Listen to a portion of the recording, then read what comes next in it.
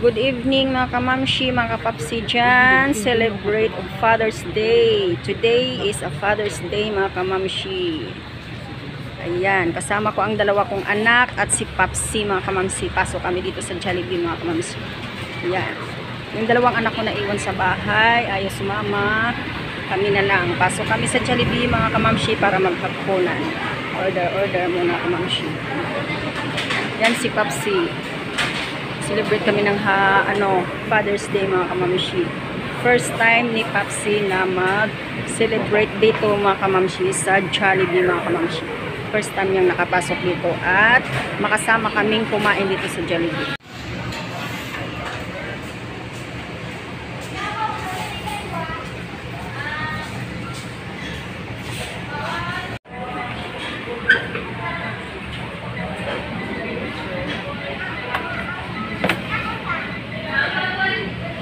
Ang order namin mga kamamshi.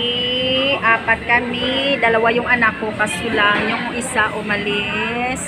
Nagpunta sa Korean food. At yung isa na iwan sa bahay. Hindi kasi pwedeng walang ma matira sa bahay mga kamamshi. Yan si Papsi.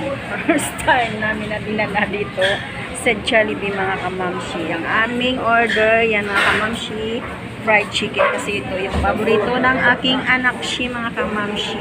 Hindi na kami nagsasaing kasi Father's Day ngayon mga kamamshi. Dapat kami mag-celebrate mga kamamshi. This is the day.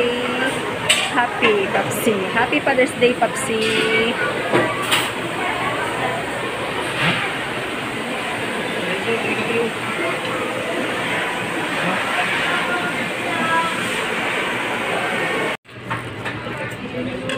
Kain tayo mga kamamshi. Thank you Lord sa pagkain na to at kami ay nagsama-sama sa hapunan ngayon maliban lang sa dalawa naming anak.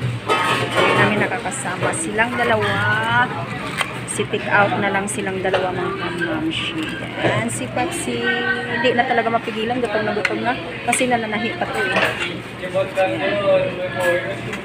Yan ang drinks namin mga kamamshi. Kain hapunan. Wala? Apat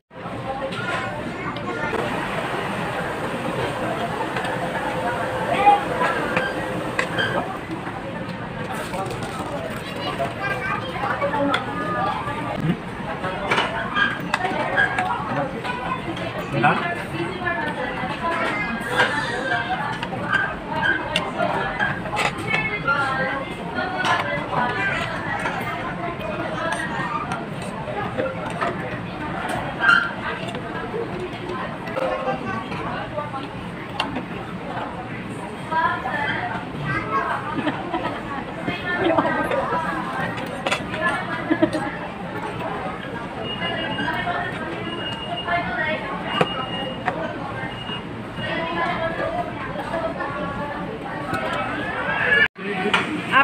kami mga kamamshi na mag-celebrate dito sa Jollibee Father's Day. Ngayon mga kamamshi, kaya yan. First time ni Papsi na pumasok sa Jollibee na kasama kami mga kamamshi.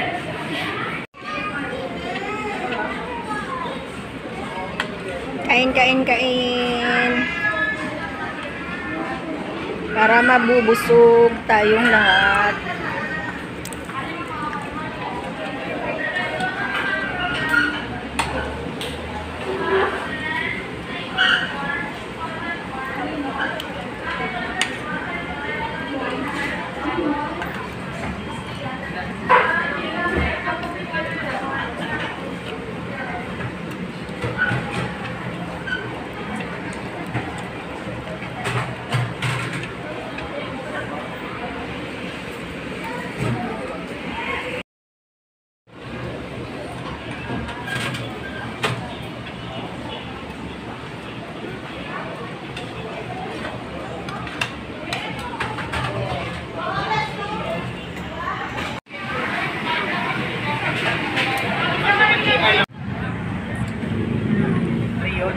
Kiss ka muna kay Jollibee.